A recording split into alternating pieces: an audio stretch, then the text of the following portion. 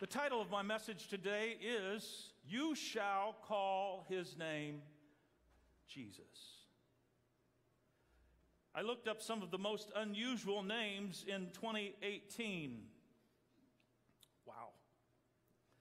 For girls, let me give you just a few of these Karani, Taffeta, Petula, Stockard, Marty, Gabby, Fiametta, I'm not sure if I'm even saying them all right, Samaya, Azama, Azami, Sai, Yadira,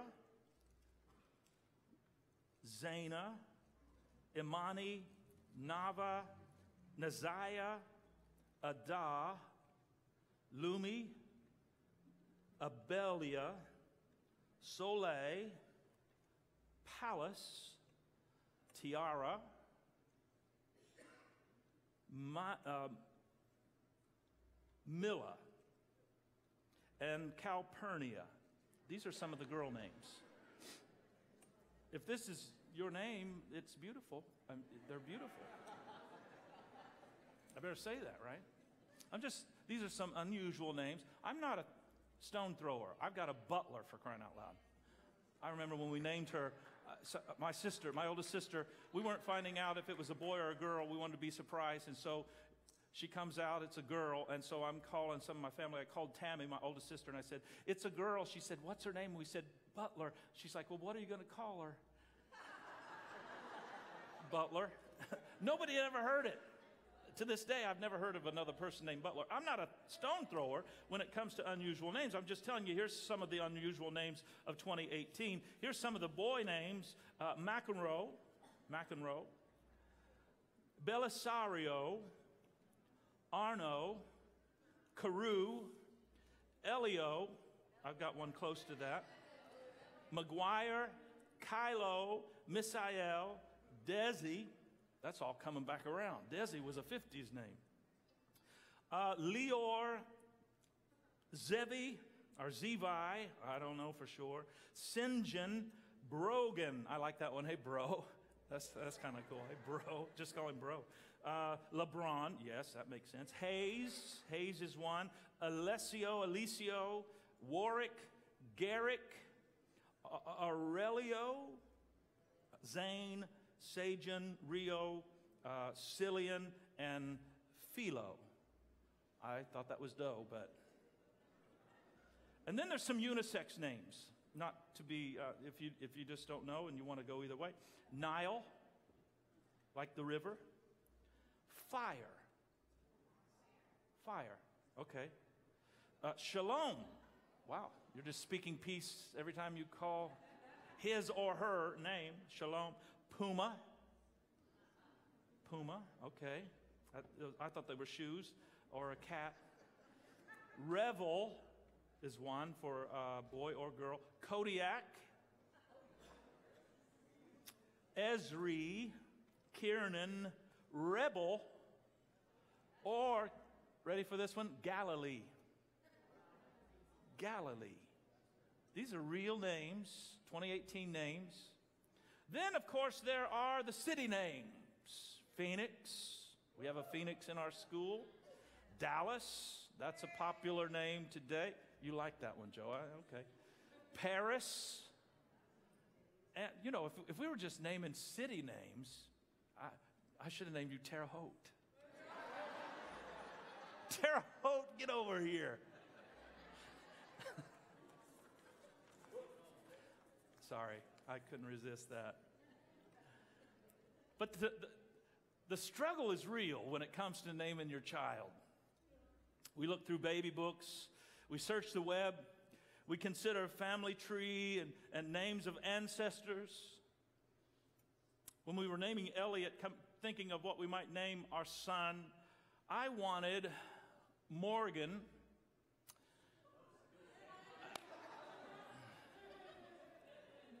I wanted Morgan, and the middle name was going to be Foster, Morgan Foster.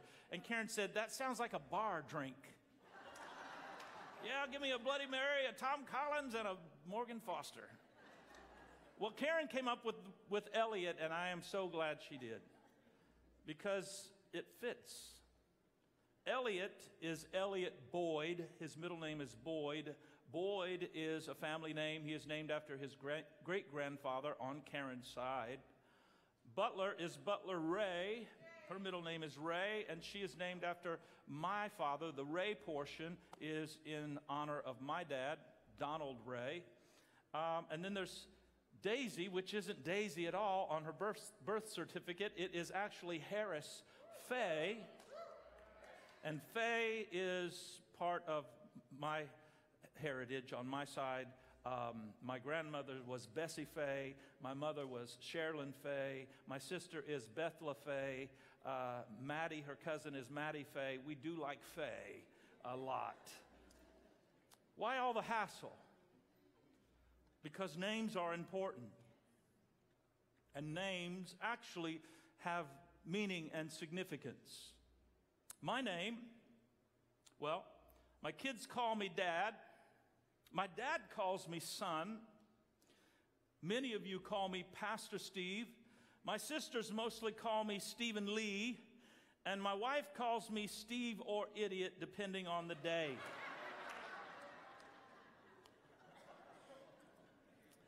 Stephen, it means royalty crowned one.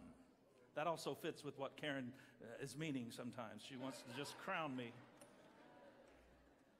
But there is a name huh, that is so far superior than my name or your name. It is the name of Jesus. And the name of Jesus has great, great significance. You see, we will know Jesus more as we know his names. Clues to his character are actually found in his name. And so, if you don't mind, get your magnifying glass out today. We are going to look closely and examine the names of Jesus so that we might know him better. How many want to know him better today? I believe we will as we look at his names. We start with this Jesus. We start with Jesus. The angel of the Lord told Joseph exactly what he was to name his son. He said, You shall call his name, say it with me, Jesus. Now, Jesus, at the time, wasn't that out of the ordinary. In fact, his name was quite ordinary. It's still ordinary to this day. In many Latino nations, Spanish speaking nations, Jesus, spelled the same way. Anybody named Jesus here today? I've met many named Jesus. In the Old Testament, you see a version of this. Yeshua, Joshua, was a common name. It was an ordinary name. It means this Jehovah saves. The name Jesus means Yahweh saves, Jehovah saves, our God saves. That's what it means. An ordinary name, yes, but it has extraordinary potential. What can we do with this name? Let me give you three things that we can do with this name. We can pray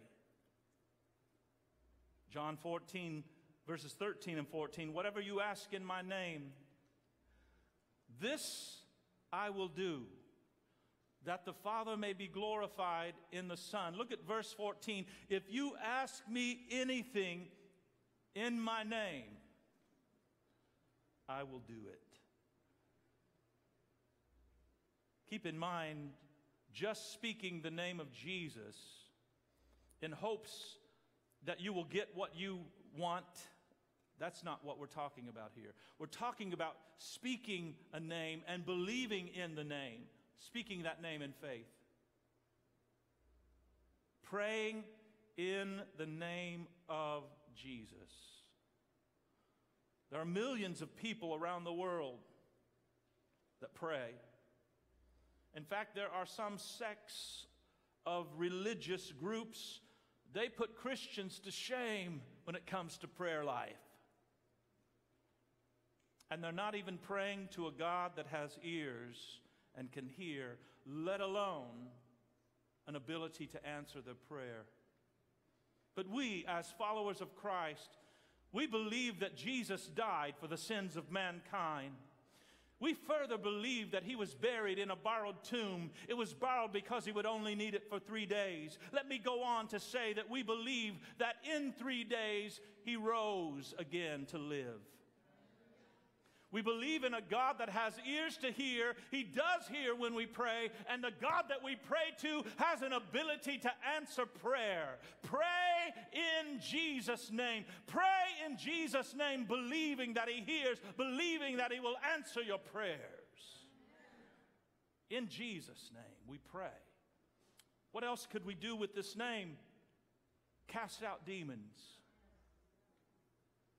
cast out demons. That's what Paul did in Acts chapter 16 when he encountered a young girl that was possessed by an evil spirit, which gave her the ability to tell the future.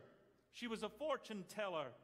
And finally, Paul, becoming greatly annoyed in verse number 18 of Acts chapter 16, he turned and said to the Spirit, I command you, watch this, in the name of Jesus Christ, come out of her.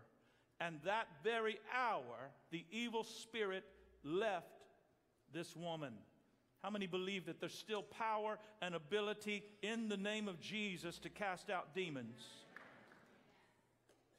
What else might we do with this name? What else can be done in this name or because of this name? There's great healing found in Jesus' name.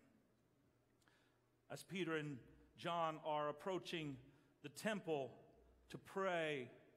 In Acts chapter 3, Peter says to a man that they encounter that's lame from birth, 40 years lame, begging for, for money, begging for alms, Peter says this I don't have any money. I don't have any silver or any gold, but he did have something, and that's exactly what he gave to the man. He gave him the power that he found in the name of Jesus. Bring that up for us today. Acts 3 6. Peter said, I have no silver, I don't have any gold, but what I do have, I give to you in the name of Jesus Christ of Nazareth. Rise up and walk and the man was immediately healed. If you've ever been healed by Jesus, I want to see your hand all across this room. Look around, everybody. Multiple people have been supernaturally and miraculously healed because of the name of Jesus. If you need healing today, believe in the name, believe in the power in that name, and don't get frustrated while you wait. It may all happen at once. I like that more. I like immediately. But most times it's a process. Most times we have to wait on the fruition and the total fulfillment. But don't get frustrated while you're waiting. Keep praising Him while you're waiting. Keep thanking Him while you're waiting because I'm telling you, there's great power in the name of Jesus to heal all disease. All disease. There's some in this room, you've been waiting for many years, and that takes its toll on you. But hear me say to you one more time don't get discouraged. Just keep thanking Him, keep praising Him. God's the God that heals diabetes. God has you in the palm of his hands, sis. Let me just tell you something. God has you in the palm of his hands. God says to tell you, I've closed a door for you intentionally to steal you away with me for this season of your life. I'm going to open your ears so that you hear my voice in a way that you have never heard my voice. If you will listen, I will speak to you, says the Lord. I am the one that has closed this door so that I can open a better door for you when it's time. That's a word from the Lord for you today, sis. It's good to have you in the house here today. Hallelujah. Somebody say Jesus. Great name. Let's look at another name today. Number two, Christ. Luke chapter 2, verse 11 For unto you is born this day in the city of David a Savior who is Christ the Lord. Now, let me make this very clear Christ is not actually a name, Christ is an office.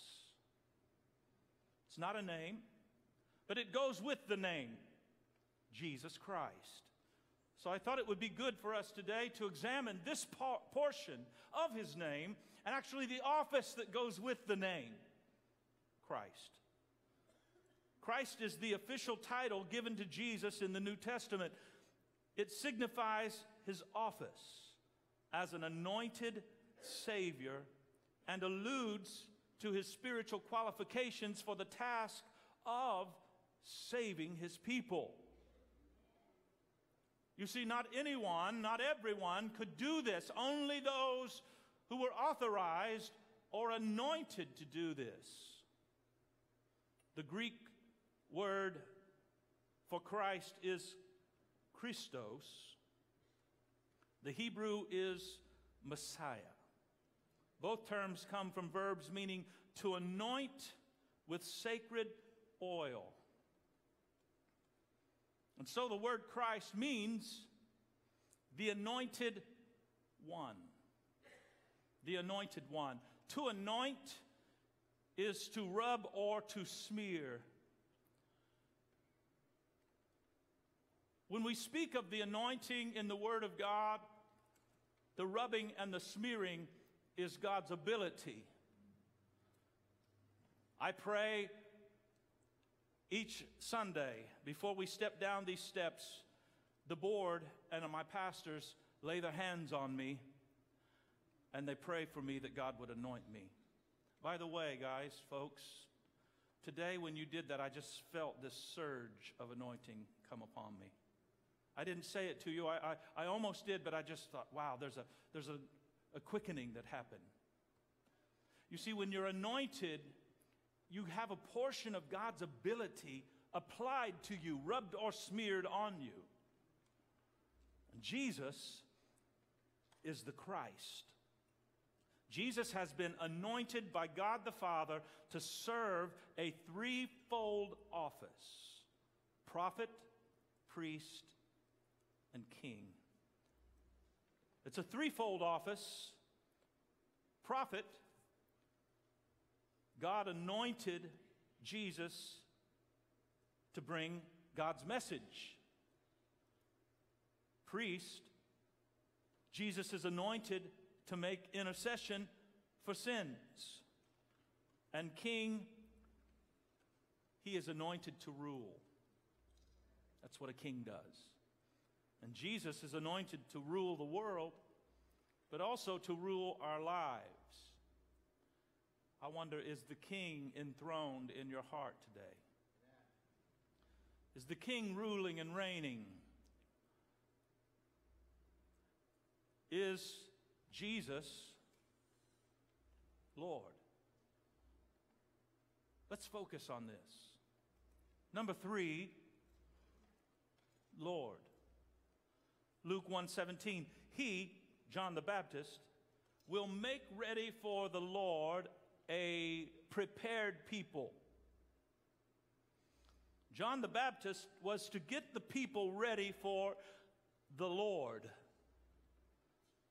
Now, Lord is also not a name, Lord is a title. Christ is an office, Lord is a title. And this comes from the Hebrew Adonai. Lord refers to one who has power or authority. It means ruler, Lord, or master. Adonai. Ruler, Lord, master. Jesus came to save the world. And for those who believe, they find in Jesus a Savior. I wonder how many that speaks of in this room. How many have found a Savior in Jesus Christ? Testify by just lifting your hand. You've been saved. You've been born again. You found a Savior. Congratulations to you. But that's only the beginning. Jesus doesn't just want to be your Savior. Do you know that Jesus wants to be your Lord? That master, that ruler, the one that is in authority over your life. And so let me ask this very plainly today, La Palma Christian Center, and guests who are here today Is Jesus Christ the Lord? Is he Lord? Is he Lord of your body? Mm, that's a good question, Pastor Steve.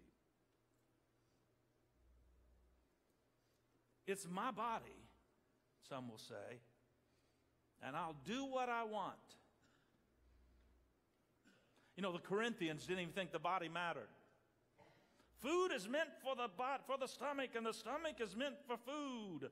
We are sexual beings. We're meant to have sex, and it was a mess because they didn't understand that Jesus wants to be Lord or ruler or master over your body. And they got in a bunch of trouble over that. And people in 2018 are getting in a lot of trouble over the same thing because they won't allow, they want Jesus to be the Savior, but they won't allow Jesus to be the Lord. We have to submit to the Lordship of Jesus. That's why every now and then we need to get on our knees and get on our face and remember who He really is. Come with humility. You wouldn't rush into the Queen's presence if you had the privilege, has anybody ever been in the presence of the Queen of England? Anyone? I didn't think so. That's a rare, rare privilege. None of us probably will. But if you did, you wouldn't just rush in. There would be a level of respect that came and humility. How much more should we come into the presence of the Lord that is above all the other lords with humility and respect and honor. Is He the Lord in your marriage? Marriage is a give and take. They say it takes two. Really, there's three. Jesus should be the Lord in the marriage. If Jesus is the Lord in the marriage, no matter what comes, there's a way to navigate and maneuver through it. Come on, somebody. Marriage is tough. But if you keep Jesus as the Lord of your marriage, your marriage will be blessed. All the married folks stand real quick. Come on, all the married, all the marrieds. Come on, take if you're near your spouse, take them by the hand. Father, bless our marriages. Bless our marriages, God. How we need your blessing, how we need your guidance.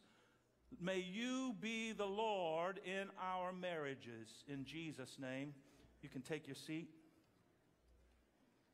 Is Jesus Lord in your home? If He's Lord in your marriage, He's more likely to be Lord in your home. There's too many Christians who are one way in the house of God and another way in their own house. There needs to be some consistency. I got to move on. Is he Lord of your service? Is he Lord of your finances? I don't have time to develop all of this today, but Jesus desires to be Lord. But he won't force his lordship over you. He comes to save the world, and if you believe, we can have everlasting life. We found a Savior. Wow, the Savior has come. Hallelujah. That's step one. Now let Him be Lord. Let Him be the Lord. He is Lord. We used to declare this as a, as a song together as a church. He is Lord. He is risen from the dead, and He is Lord. Every knee will bow, every tongue confess Jesus Christ is Let me close today. There is one more name that I want you to jot down before you put your notes away. And it is this Emmanuel. Mm. Emmanuel, Matthew 1:23 Behold the virgin shall conceive and bear a son and they shall call his name say it with me Emmanuel which means God with us that's what it means Isaiah originally prophesied these words Isaiah chapter 7 and our text tells us, the translation, our text tells us what this name means God is with us. Hmm. God is with us.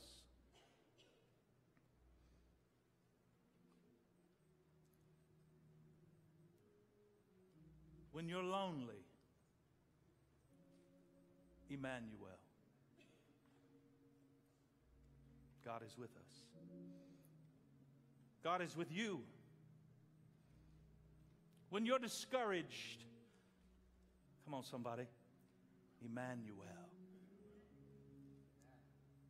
God is with us.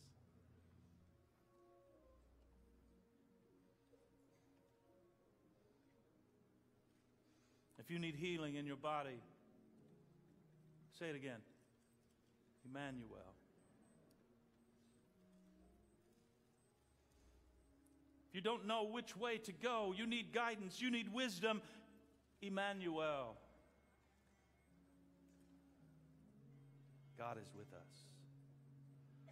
And not only is God with us, He promised that He would stay with us. He said, I'll never leave you and I won't forsake you. What good news for us today. Emmanuel, God is with us. The angel told Joseph, You're going to have a son, and you shall call his name Jesus. An ordinary name, perhaps, but what extraordinary power and potential. It's a highly exalted name.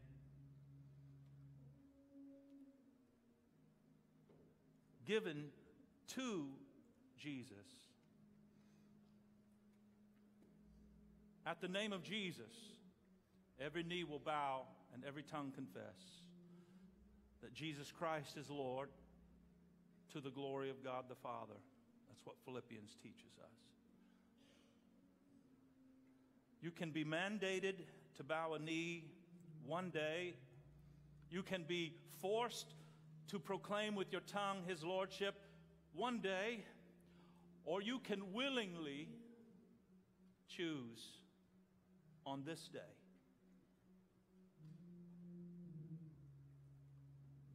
In just a week, in a couple of days, we will join with people around the world in observation and celebration of one of the greatest events that ever happened. And that's the birth of Jesus Christ.